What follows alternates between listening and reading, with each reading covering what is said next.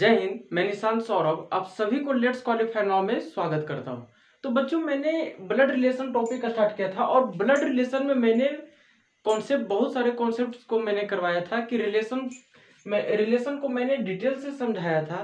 इसके बाद रिलेशन को किस तरह से डिनोट करेंगे उन चीज़ों को मैंने डायग्राम्स के साथ भी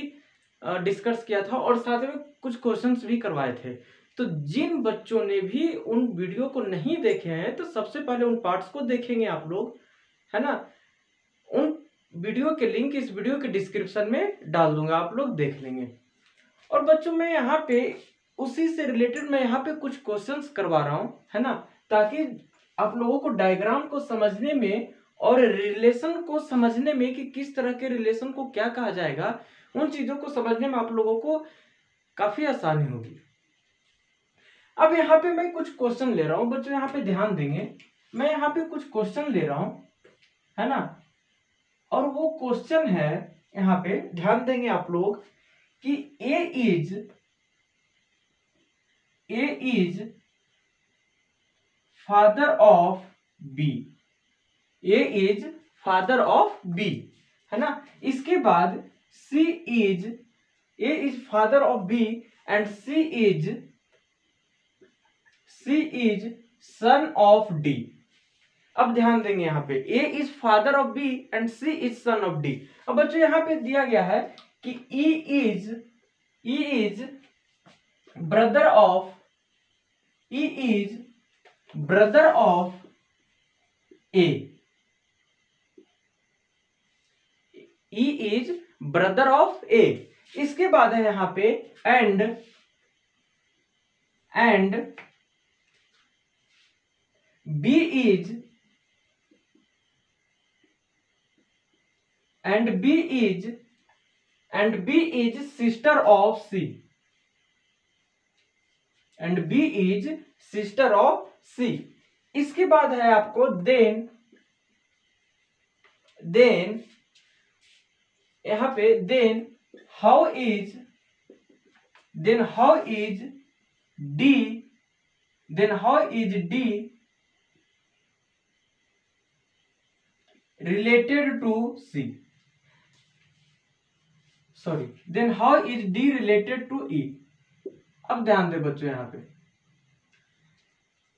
अब सबसे पहले मैंने आप लोगों को डायग्राम को समझाया था कि father son mother son mother daughter father daughter brother sister इन चीजों को किस तरह से डिनोट करते हैं है ना तो अगर जो भी बच्चे उन डायग्राम को अगर नहीं समझे हैं तो फिर इस क्वेश्चन को सोल्व करने से फिर आप लोगों के लिए कोई फायदा नहीं है तो इसीलिए मैं बोल रहा हूँ कि पहले कॉन्सेप्ट वाले पार्ट्स को देखेंगे फिर इस वीडियो पे आएंगे अब बच्चों यहाँ पे ध्यान दे क्वेश्चन पे क्या कर रहा है कि A is father of B यहाँ पे ए को बता रहा है कि ए है वो पिता है किसके तो बी के है ना तो मैंने आपको बताया था कि ए इज फादर और बी मतलब कि फादर और चाइल्ड के रिलेशन को किस तरह से डिनोट करेंगे तो यहाँ पे देखेंगे आप लोग यहाँ पे ए को मैंने फादर लिया फादर मीन्स मेल तो मेल को मैंने बॉक्स से डिनोट किया बच्चों और किसके फादर है तो बी के फादर है अब देखेंगे यहाँ पे इस वाले लाइन में बी के बारे में जेंडर कंफर्म नहीं हुआ है मेरे प्यारे बच्चों है ना लाडलो यहाँ पे बी के बारे में जेंडर कंफर्म नहीं हुआ है इसलिए मैं यहाँ पे बी का कोई जेंडर यहाँ पे स्पेसिफिक नहीं कर रहा हूं ना तो मैं सर्कल से डिनोट कर रहा हूं ना ही मैं बॉक्स से डिनोट कर रहा हूं इसके बाद क्या करा बच्चों नेक्स्ट लाइन में देखेंगे कि C is son of D अब यहाँ पे देखें ये लाइन ही कुछ दूसरा लाइन है अब क्या करा है ना कि जो सी है वो सन है किसके तो डी के अब यहां तक लाइन में जो फर्स्ट लाइन अभी तक मैंने डायग्राम को यहां पे डिनोट किया क्या इसमें डी के बारे में कुछ बोला गया है नहीं बोला गया है तब तो इस लाइन को हमें अभी छोड़ना पड़ेगा फिलहाल आगे जहां से रिलेशन एक दूसरे से जुड़ेंगे वहां से मैं इस रिलेशन को जोड़ दूंगा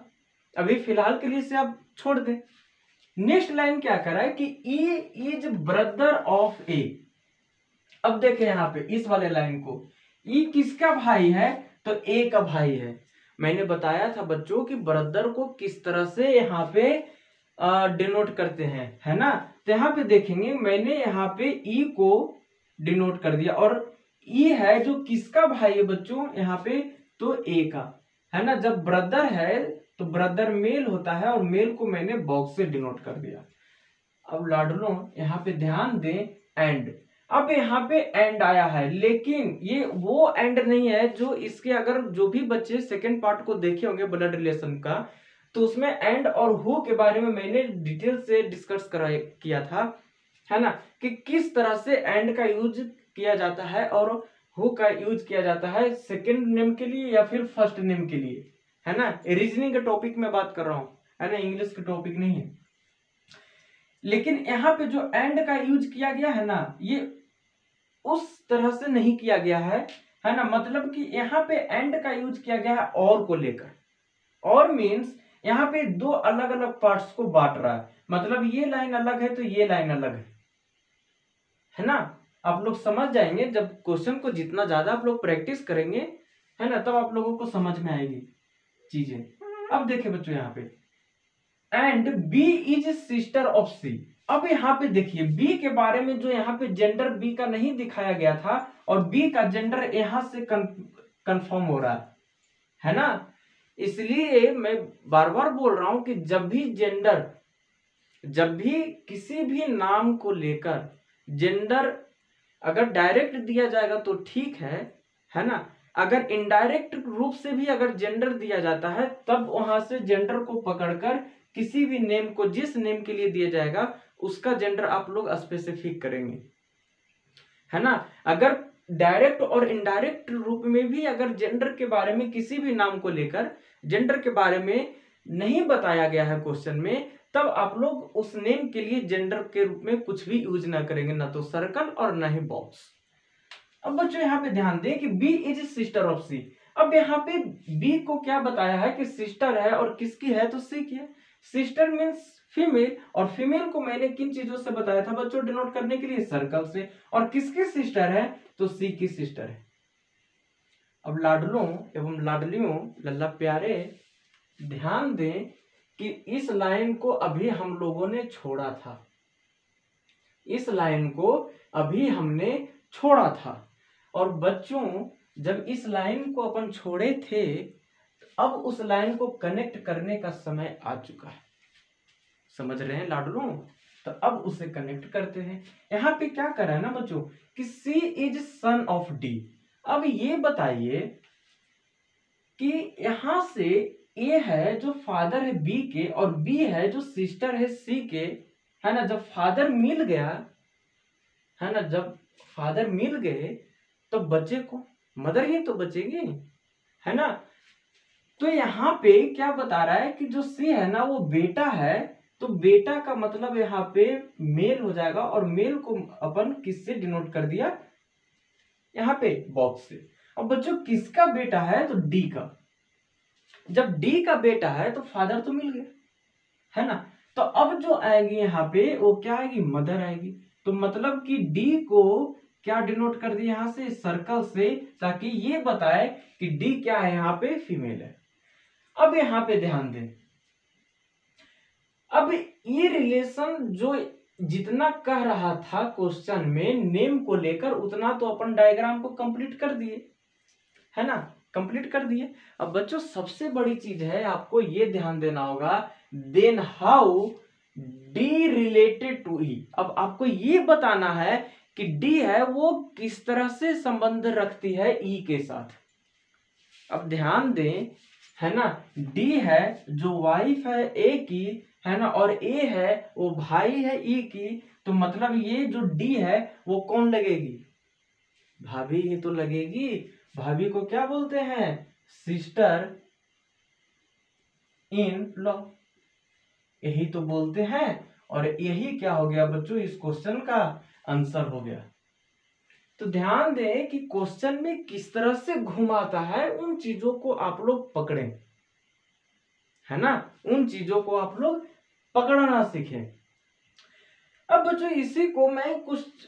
अब मैं नेक्स्ट क्वेश्चन ले रहा हूं अब नेक्स्ट क्वेश्चन देखेंगे कि नेक्स्ट क्वेश्चन किस तरह से है ध्यान देंगे यहां पे नेक्स्ट क्वेश्चन ले रहा हूं मैं बच्चों कि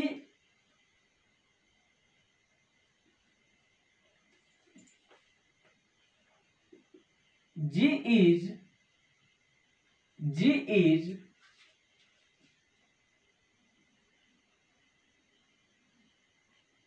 brother of M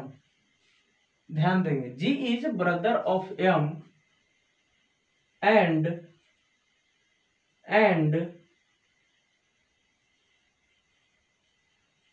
father of and father of G and father of G next है यहां पे कि N is N is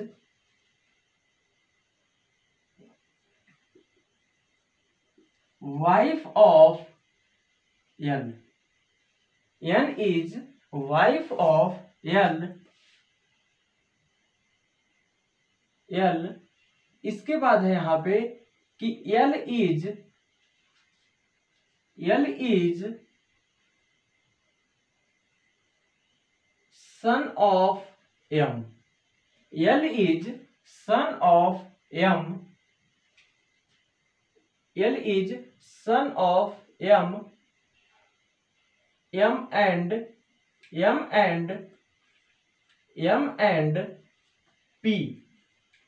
M and P, hai na? Who is who is who is sister of K who is sister of K अब बच्चों यहाँ पे ध्यान देंगे अब यहाँ पे आप लोगों को डायग्राम को बताना होगा है ना यहाँ पे ये जो क्वेश्चन मैंने लिया एक्चुअली क्वेश्चन लेने अभी क्या है कि मैं आप लोगों को डायग्राम बताने सिखा रहा हूं कि डायग्राम को किस तरह से ड्रॉ कर पाएंगे आप लोग है ना बच्चों यहाँ पे तो ध्यान दे मेरे लाडलो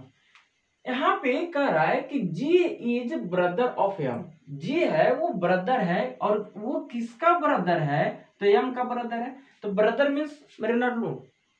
मेल होता है और मेल को अपन बॉक्स से डिनोट करते हैं तो जी क्या हो गया लाडलो यहाँ पे मेल तो मेल को मैंने बॉक्स से डिनोट कर दिया और किसका भाई है बच्चों तो ये एम का भाई है अब देखे यहां पे एंड फादर ऑफ जी यहाँ पे जो एंड का यूज किया गया है ना बच्चों वो एंड का यूज किया गया है फर्स्ट के लिए और फर्स्ट नेम क्या है जी और पीछे वाला जो एंड का यूज किया गया था वो दो सेंटेंस को अलग अलग कर रहा था लेकिन यहाँ पे है जो एंड का यूज किया गया है वो एंड का यूज इसके लिए किया गया है फर्स्ट नेम के लिए मतलब दूर के लिए अगर यहीं पे अगर हु होता ना बच्चों तो हु यूज किया जाता है यम के लिए अब यहाँ पे देखे बच्चों अब क्या कर रहा है कि father of and father sorry यहाँ पे जी जी नहीं होगा यहां पे दूसरा नाम ले लेंगे यहाँ पे नाम ले लीजिए Q Q sorry and father of Q अब जी है वो तो भाई हुआ यम का और दूसरी क्या हुआ कि पिता है और किसके पिता है तो क्यू का तो फादर है ना और बच्चे का जो रिलेशन को अपन बताए थे वो किस तरह से इस तरह से था क्यू का अब देखे यहाँ पे अभी भी यहाँ पे क्यू के बारे में कोई जेंडर का स्पेसिफाइकेशन नहीं किया गया है इसलिए अपन यहाँ पे क्यू का जेंडर नहीं देंगे ना तो सर्कल देंगे बच्चों और ना ही यहाँ पे बॉक्स देंगे अब नेक्स्ट ध्यान दें कि N is wife of N अब सबसे बड़ा चक्कर यहाँ पे क्या इस लाइन का जिक्र में जो यन है और यल का किया गया है क्या अभी तक यन और यल कहीं मिला है अगर नहीं मिला है तब तो यहाँ पे यन और यल को नहीं दे सकते हैं है ना हमें क्या करना होगा फिलहाल इस लाइन को छोड़ना होगा है ना इसे छोड़कर अपन आगे बढ़ते हैं तो लाडलो यहाँ पे ध्यान दे कि L is son of M अब देखें अब रिलेशन क्या हो रहा है ना बच्चों की जो यल है वो सन हो रहा है किसका तो एम का मतलब कि यहाँ पे ये है वो एल हो गया और ये एल को क्या बता रहा है सन बता रहा है बेटा तो मतलब इसे बॉक्स देंगे अब देखें यहाँ पे जब एल किसका बेटा हो गया एम का और क्या कर रहा है बच्चों की जो एन है वो वाइफ है किसकी तो एन की तो यहां से एन को अपन क्या कर दिए वाइफ बना दिए और किसकी वाइफ तो एल की है ना ये दोनों क्या हो गया आपस में हस्बैंड वाइफ हो गए सही है यार चलो आगे अब नेक्स्ट देखिए अब एक चीज और है एल है वो सन है M son of M and P अब देखिए बच्चों जो यहां पे एल है वो सन हुआ है बेटा हुआ है किसका तो M and P M and P दोनों का बेटा है अब देखें यहां पे मतलब कि यहां पे जब सबसे पहली बात इसे मैं मिटा रहा हूं फिर से देखिए इस लाइन को क्या कर रहा है ना कि यल है वो L is son of M and P मतलब कि जो यल है वो एम और पी का बेटा है और बच्चों ध्यान दें जब बेटा हो रहा है किसका एम का और पी का तो ये दोनों आपस में हस्बैंड वाइफ होंगे एम और पी आपस में क्या होंगे हस्बैंड वाइफ होंगे ना बच्चों अब एक चीज यहाँ पे ध्यान दे जब हस्बैंड वाइफ होंगे तो इसे डबल लाइन से डिनोट करेंगे ना और ये क्या हो गया बच्चों ये हो गया सन यह क्या हो गया बच्चों यहाँ पे सन हो गया अब लाडलो अभी तक यहाँ पे एम और पी के बारे में कोई जेंडर का स्पेसिफिकेश मतलब स्पेसिफिक मतलब जेंडर के बारे में एम और पी के जेंडर के बारे में अभी तक कुछ भी कंफर्म नहीं बताया गया है इसलिए यहाँ पे न तो एम को मेल बनाएंगे न ही फीमेल बनाएंगे और न ही पी को फीमेल बनाएंगे और न ही मेल बनाएंगे समझ में आई बात जहां पे जेंडर का क्लियर कर देगा एम और पी के बारे में या फिर क्यू के बारे में उस समय वहां पे इन सभी के जेंडर को देंगे अभी फिलहाल इन दोनों को जेंडर के बारे में कुछ भी बातें नहीं करेंगे बस इतना पता है ना कि या तो यम वाइफ होगी पी का या पी वाइफ होगी यम का है ना अभी इसके बारे में कोई कंफर्मेशन नहीं है अब बच्चों यहाँ पे ध्यान दे पी अब देखे जो हु का यूज किया गया है ना बच्चों ये हु और वो ये जो हु है ये किसके लिए किया गया है सेकेंड नेम के लिए मतलब कि यहाँ पे जो नजदीक है उसके लिए किया गया है तो नजदीक क्या है पी है मतलब पी के लिए यूज किया गया है P is sister of K अब ध्यान दे बच्चों यहाँ पे अभी तक ये दोनों के जेंडर के बारे में कुछ भी नहीं बताया गया था लेकिन अब कंफर्मेशन हो रहा है देखिए कैसे यहाँ पे क्या बता रहा है ना बच्चों कि P is sister of K P who मैंने इस हु और एंड का यूज बताया था बच्चों इसके प्रीवियस वाले पार्ट्स में तो लाडनो यहाँ पे ध्यान दे कि जो हो का अगर यूज करेगा तो समझ जाइए वो नजदीक में जो भी पर्सन होगा ना उसके लिए यूज करेगा लल्ला प्यारे समझ में आई बातें है ना मतलब कि सेकेंड नेम मतलब जो सबसे ज्यादा नजदीक होगा तो यहाँ पे पी क्या है नजदीक है और वो पी किसकी सिस्टर हो रही है के की तो मतलब कि पी को अपन क्या बना दिए सिस्टर बना दिए किसके तो के के यहाँ पे के के जेंडर को स्पेसिफिक स्पेसिफाई नहीं कर पाएंगे क्योंकि यहाँ पे के के बारे में के के जेंडर के बारे में कुछ भी बातें नहीं की गई है अब बच्चों यहाँ पे ध्यान दें जब पी सिस्टर है के की तो पी क्या हो गई फीमेल हो गई जब पी फीमेल हुई तो यम क्या हो जाएगा मेल हो जाएगा बच्चों इस तरह से ये डायग्राम क्या हो गया बच्चों यहाँ पे सोल्व हो गया जब डायग्राम आप लोगों से सोल्व होगा ना बच्चों तो क्वेश्चन अपने आप सोल्व हो जाएंगे तो ध्यान दें अब सबसे पहले क्या करेंगे ना कि आप डायग्राम पे फोकस करेंगे इन चीजों के बारे में आप लोग ध्यान देंगे अब मैं इसे मिटा रहा हूं अब नेक्स्ट क्वेश्चन की तरफ बढ़ रहा हूं मैं आप लोग ध्यान पूर्वक इसे नोट करते चलेंगे और जो भी डाउट्स होते हैं ना उसे कमेंट सेक्शन में आप लोग जरूर दें और अगर आप लोगों को सेशन अच्छा लग रहा है तो उसे लाइक और शेयर जरूर करें अब देखिए बच्चों नेक्स्ट क्वेश्चन है नेक्स्ट क्वेश्चन ये है कि A is son of B A is son of B इसके बाद कह रहा है कि B is B is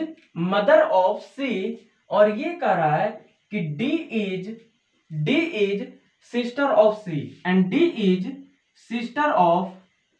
D is sister of C अब बच्चों ये कर रहा है अब देखें नेक्स्ट क्वेश्चन आगे देखेंगे ए क्या कर रहा है कि how is how is how is A how is A how is A related how is A related to D और क्वेश्चन नंबर सेकेंड है बच्चों यहां पे क्वेश्चन नंबर सेकंड है ध्यान देंगे क्वेश्चन नंबर सेकंड ये कह रहा है कि how is how is D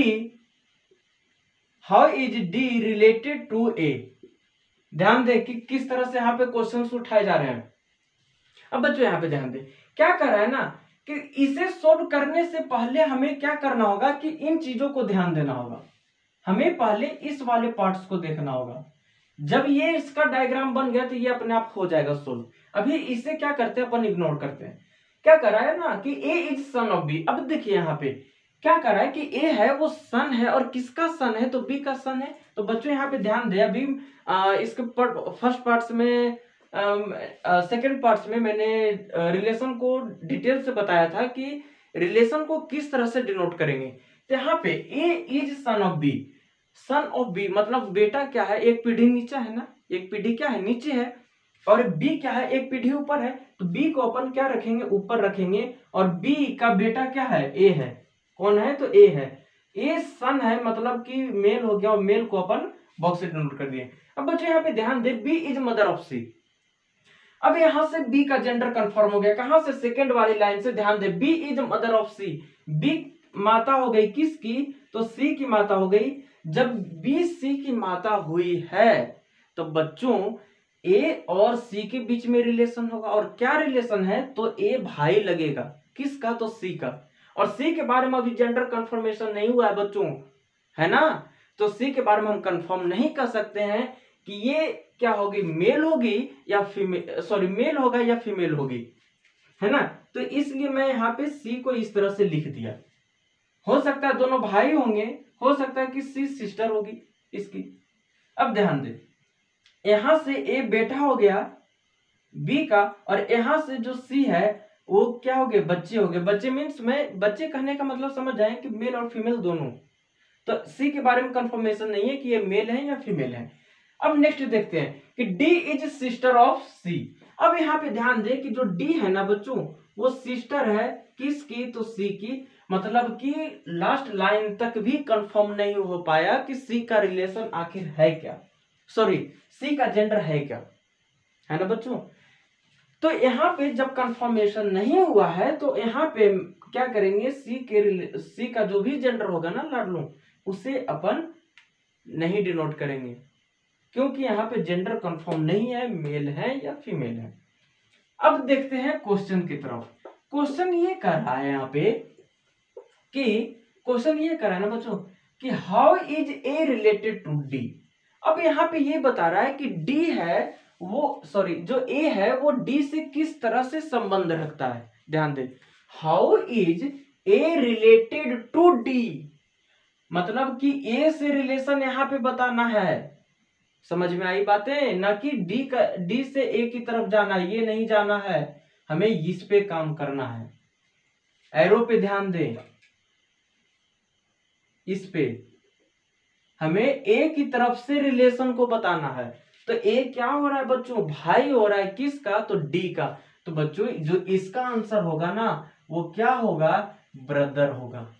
क्या होगा ब्रदर होगा अब नेक्स्ट में देखें कि how is D related to A अब जो डी है वो ए से किस तरह से संबंध रखता है अब यहाँ पे क्या है बच्चों ध्यान दें अब हमें डी से ए की तरफ चलना है ये वाला सही है है ना अगर ए से डी की तरफ जाएंगे तो ये क्या हो जाएगा बच्चों गलत हो जाएगा एरो पे आप लोग ध्यान देंगे है ना तो अब हमें डी से ए की तरफ चलना है तो डी क्या हो गया बच्चों यहाँ पे सिस्टर हो गए किसकी तो ए की है ना तो इसका आंसर क्या हो गया बच्चों यहाँ पे सिस्टर हो गया तो इस तरह से क्वेश्चंस घुमा कर एग्जामिनेशन में पूछे जाते हैं अब अगर हम बातें करते हैं तो देखिए अब क्या है यहाँ पे कि अगर देखिए ब्लड रिलेशन में क्या है कि अभी मैं कुछ प्रीवियस ईयर्स का क्वेश्चंस करवाऊंगा है ना नेक्स्ट पार्ट में इसके बाद जब कुछ क्वेश्चंस करवाए जाएंगे हाई लेवल तक क्वेश्चन ले जाऊंगा मैं और इसके बाद जब इससे रिलेटेड क्वेश्चंस करा दिए जाएंगे इसके बाद आप लोगों का स्टार्ट किया जाएगा कोडेड ब्लड रिलेशन है ना कि जो भी ब्लड रिलेशन होता है उसे कोड से आपको दिया जाएगा और उस कोड को एक स्टेटमेंट में जैसे यहाँ पे खैर उसे मैं अपन जब स्टार्ट होगा तब आप लोगों को डिटेल से आ, करवाएंगे अब क्या है ना बच्चों कि अब नेक्स्ट पार्ट में अपन प्रीवियस ईयर में पूछे गए क्वेश्चन है उससे मैं ला रहा हूँ है ना तो जिन बच्चों भी अभी तक हमारे चैनल को सब्सक्राइब नहीं किया है तो वो सब्सक्राइब करेंगे और वे लाइकन पे क्लिक करेंगे और ताकि जो भी न्यू वीडियो आएगा ना बच्चों वो सबसे पहले आपके पास पहुंचेगा और सेशन अच्छा लग रहा है तो आप लोग लाइक करें शेयर करें और जो भी डाउट्स होता है ना लाडलू उसे कमेंट सेक्शन में आप लोग जरूर देंगे है ना तो मिलते हैं नेक्स्ट पार्ट में नेक्स्ट वीडियो में तब तक जय हिंद